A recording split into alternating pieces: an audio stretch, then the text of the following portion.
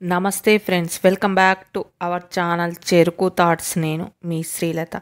ఇప్పుడు మనం రెగ్యులర్గా మనం చేసుకునేలా కాకుండా నిమ్మరసాన్ని టేస్టీగా పిల్లలకి ఇష్టంతో తాగేలా కాస్త డిఫరెంట్గా ఎలా ప్రిపేర్ చేసుకుందాం చూసేద్దాం రండి.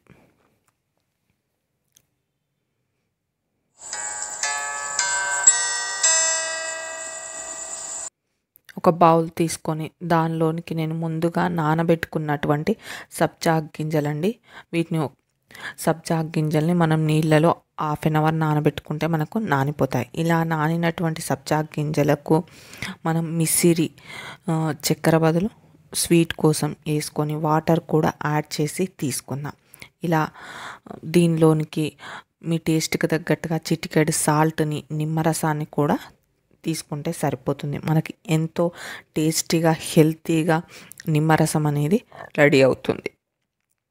మనకు సబ్జా గింజల వల్ల బాడీలో హీట్ అనేది తగ్గుతుందండి. ఇలా టేస్టీగా హెల్తీగా నిమ్మరసం ప్రిపేర్ చేసి తీసుకుంటే సరిపోతుంది.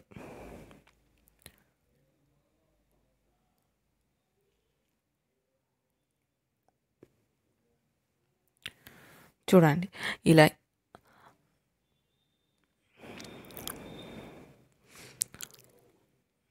అదేవిధంగా ఒక బౌల్ తీసుకొని దానిలోనికి నానబెట్టుకున్నటువంటి సబ్జా గింజల్ని కూడా తీసుకుందాం. ఇలా సబ్జా గింజల్ని తీసుకొని దానిలోనికి సాల్ట్ చిటికెడు సాల్ట్ని రోజ్ సిరప్ రోజ్ సిరప్లో స్వీట్ ఉంటుందండి. మనం షుగర్ వేయాల్సిన అవసరం ఉండదు. సో రోజ్ సిరప్ని కూడా మనం తీసుకొని నిమ్మరసాన్ని పిండుకుందాం.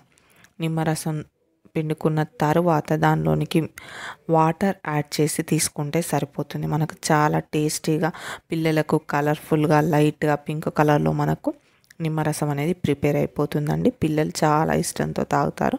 ఇలా ఎంతో టేస్టీగా సింపుల్గా వన్ ఆర్ టూ మినిట్స్లో మనం ఈజీగా లెమన్ జ్యూస్ ప్రిపేర్ చేసి తీసుకోవచ్చండి. చాలా చాలా టేస్టీగా కూడా హెల్తీగా మనకు నిమ్మరసం అనేది రెడీ అయిపోయింది ఫ్రెండ్స్. మీరు ఒకసారి ఇలా ట్రై చేసి చూడండి.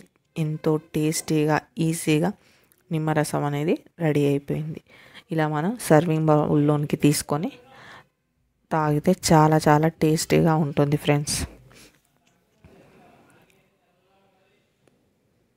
నా ఛానల్ ఫస్ట్ టైం చూస్తున్నట్లయితే సబ్స్క్రైబ్ చేసుకోండి. అదేవిధంగా లైక్ చేయండి షేర్ చేయండి ఫ్రెండ్స్.